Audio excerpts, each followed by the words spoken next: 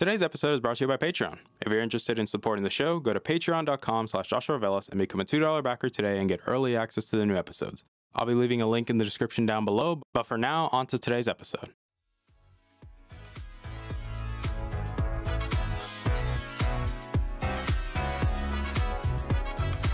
You're listening to the Augment Experience podcast. I'm your host, as usual, Joshua Reveles. I'm a student, musician, and a gamer at heart.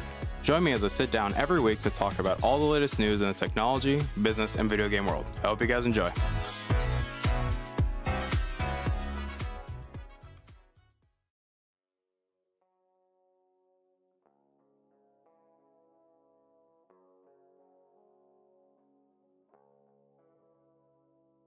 All right, everybody, welcome back to the show. My name is Joshua Reveles. I am your host as usual, and obviously, welcome back to the show. Today's episode 217 of the show, and before we get started, we're going to do a bit of house quick, quick, because, well, you guys know we like to do it around here. It only makes sense that we do it, so let's just get on with the house cleaning. I will just say this right off the bat. I know this episode is coming out a little bit later than what it normally does. Well, thanks, YouTube, for screwing with the video. So, well, not even just the video, but also screwing with the audio. So, now we had to redo this episode, which is not bad, but at least it gives me another try to do it. You know, because you know, you guys know I like to record the show and just do it one take. But I do thank you guys for coming back and listening to today's episode. It does really mean a lot to me. Guys constantly take time in your days to download these episodes, to share these episodes, to constantly keep letting me know how you feel, whether you like my stupid opinions or not. Because I always make it clear everything I talk about is my opinion. And I greatly appreciate you guys, you know, give me an audience and, uh, you know, just talk and chat. I really appreciate it. I love the conversations that we have on the show, especially because you guys vote on the topics. So, you know, for that, I really appreciate. I'm really appreciative, and I thank you guys for all of the love and support. We're almost close to 3,000 total downloads, so thank you guys so much for that. I really, really do appreciate it. Thank you to the Patreon backers for supporting the show as well. But it is time we do this episode. Well, again, but let's get on today with today's topic, where we're gonna be talking about Embracer Embracer Group. You know, a little developer, you know, just a tiny little developer, formerly known as THQ Nordic, acquiring some of Square Enix's West, basically all of their Western IPs and Western studios for $300 million. And I will say this I have seen many different takes, I've seen many different opinions regarding the situation. I think the general consensus is that for what Embracer Group is getting for $300 million is an absolute steal. I think 300 million in many aspects, I okay, this is how I view it. I personally view the deal as like highway robbery. I think 300 million, especially for the IPs that are in question here. So let's talk about them. Deus Ex, Tomb Raider, Gex, Thief, you know, other and like 50 other back catalog IPs. And along with 1400 developers, which obviously since Square Enix's Western uh, offices or development studios were primarily located in Montreal, which, as I was being told in a lot of conversations, that right now Montreal and the battle for talent over there is very fierce. The fact that Embracer Group was able to snag 1,400 developers, all these great studios that have, you know, made some great games recently, like obviously the Tomb Raider trilogy, the Marvel's Guardians of the Galaxy, because some of these developers are like Crystal Dynamics, um, Square Enix in Montreal, like some of these like other studios that have produced some great content and truly just have produced quality games. And the fact that they got away with it for 300 million dollars, I'm just like, bro, not gonna lie, this is some highway robbery here. like, I'm just being honest with you guys. Like, 300 million dollars for them. I'm like, look, in my opinion, I think it was kind of I think it was kind of cheap. I think 300 million. Like I get why, but let's stray away from this a little bit and let's focus on it like another angle. And some of this has been eh, what I've been seeing and just things that I've known and heard about regarding Square Enix is that a lot of stuff has been happening with them that things just aren't looking so good. Like they seem to be in a weird position where, you know, prime example. They make a great game like Final 7, Final Fantasy 7 remake and then they produce something like Babylon's Fall. They produce one really good great game or good to great game and then you have a couple just of really really dog games like Balan Wonderworld, you know, Babylon's Fall. And it's just Square doesn't seem to be in the best of places right now. We're just being objectively honest here. They just don't seem like they're in the best of situations, best of places.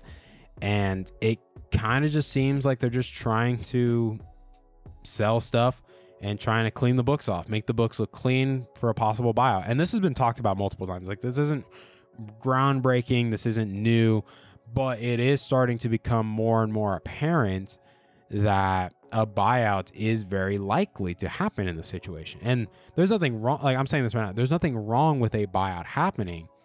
It just seems like, based on the situation with Square right now, it's not looking too good. And some people are like, well, Square Enix, like, who could buy them out? And people are looking at maybe Microsoft, maybe Sony, maybe another big third party company or independent like firm.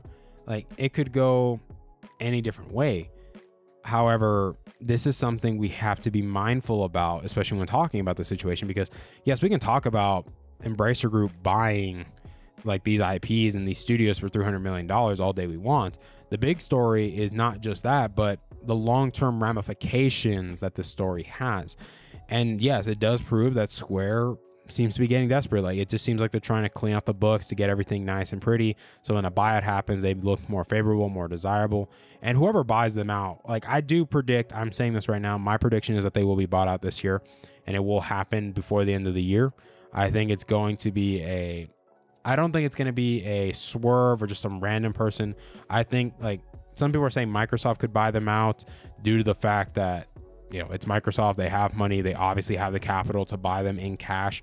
However, I do see them being a little bit more focused on closing the deal with Activision Blizzard and getting that through. So I don't think adding on maybe acquiring, like me personally, I don't think acquiring Square is going to help that acquisition at all.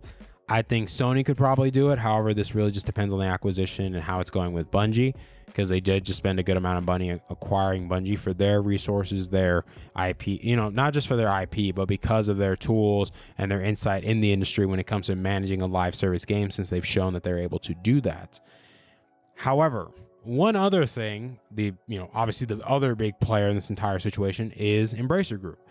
And talking about them because they are starting to show that they are going to be a juggernaut, especially in the European space. Like the big like people are saying given the current situation with Ubisoft, which we'll talk about them, you know, another time. But given that things just aren't looking so well for them, that they're probably going to get bought out soon as well, that you know it's just not working out for them. That Embracer Group could be the next big like juggernaut when it comes to producing games in in Europe that they're just going to be the next big European developer, that they're just going to be pumping out AAA games left and right, especially with all these acquisitions, with all these, like they already have 14,000 incredibly talented and gifted developers. And now you add on all these other ones from Square they just bought for 300 million. Like, hey, bro, at the end of the day, that's talent. Talent is talent. And right now, there's a huge fight for talent, and especially in the game development space. And for me, it's just going to be interesting to see how Embracer Group grows, what kind of games they produce. You know, they uh, they mentioned about some IPs that haven't been talked about in a very long time by Square Enix. I'm not going to be surprised if we end up seeing maybe a branch off with some of these IPs, like expanding them, like a Tomb Raider show, Tomb Raider movie, maybe a Deus Ex show or Deus Ex movie. Like these are series or I'd say IPs that can, I'd say, realistically transition well into TV and movies. Like obviously, yes, we've had Tomb Raider movies before, and you know we've seen how they played out. I think maybe as a TV show it would do really great. I think Deus Ex as a TV show would do great, and maybe even getting a new trilogy for both of these series I think would be incredible. I think maybe Gex. I know it's like one of the biggest memes, one of the biggest memes in the video game space is Gex, and just maybe seeing that become a video game for once, like actually seeing a fully fledged Gex game come out. And then some of these other games come out, like some like I think Kain was another one that was mentioned, and just seeing what Embracer Group can do, and just seeing what kind of quality, especially with these developers like Crystal Dynamics, like just seeing what they can do, especially like if you give them something that works in their strong suit, like what they actually good at doing, like obviously it's not live service because we know how the Avengers turned out, but then you see how Guardians of the Galaxy turned out, and that turned out incredible. That was a far better game than Marvel's Avengers by like a county mile. It's not even close. But with this new acquisition of talent, it's going to be interesting to see how this all plays out, if I'm just being honest with you guys. And I'm excited to see how this turns out. I'm excited to see where this goes. I'm excited to see where things, you know, where things go, not only with Embracer Group with these new IPs that they've acquired, but also with Square Enix and selling off their IPs and just, you know, trying to clean out the books and prepare themselves for a buyout and eventually seeing who would buy them out. I know a lot of people say Sony would make the most logical sense. However, I get why some people say it has to be a third party due to the fact that they want to keep these IPs neutral. You know, I don't, to me, I wouldn't be surprised if Sony buys them, especially because they want to probably keep Final Fantasy VII Remake exclusive on the PlayStation console, besides, you know, obviously putting it on PC and stuff like that. But keeping those, I keeping Final Fantasy a PlayStation exclusive is going to be a big thing. And, you know, if they get bought out by a third party, I'm not going to be surprised if they start, you know, unless Sony makes an agreement with them to keep it on PlayStation for a while, then, you know, that's a different story. But I think a third party buyout is more likely. I don't see Microsoft or Sony, especially with where they're at right now currently with their deals, like with their current acquisitions, one with Bungie, the other one with Activision Blizzard. To be honest, it's going to be interesting to see how this turns out, guys. I'm just being honest with you guys. I think we're going to see the rise of a new European juggernaut game studio, which is going to be Embracer Group, as Ubisoft begins the process of falling and just, you know, just really dying off, which kind of sucks to say that, but it does seem like this is what's going to happen, and this is just the new normal going forward. But let me know what you guys think in the comments down below. I know this is a bit of a shorter story, and I know that I had to redo it, so this story is going to be a little bit shorter, but you know, given the news, there's not really much to talk about, you know, as, especially as we get more information as time goes on. That's what we're really waiting on, just more information and just seeing how this goes out. Like, one thing I will say, though, that is kind of concerning was some of the comments made by Embracer Group that they want to do, like, use some of these IPs to go into blockchain, NFTs. And I'm like, oh, man, not this crap again, you know, like, I get it. I understand why blockchain technology is very interesting.